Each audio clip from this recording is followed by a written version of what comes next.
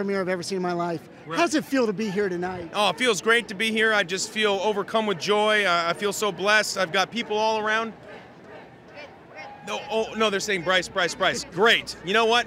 Don't feel quite as good as I did just a second ago when I thought they were chanting my name, not Bryce's. Yeah. Well, well, now it's you. It's Yeah. all you tonight. You excited? What are you feeling as you're going to see it in front of a big theater? With You know, I'm, I'm just really excited. I got my whole family here. It's my mom's 60th birthday tonight. I got my my mom, my brother, uh, and his gal and their and their kids. I got my uh, sister, her husband, and their kids. I got friends, family, a, a whole row or two full of my close.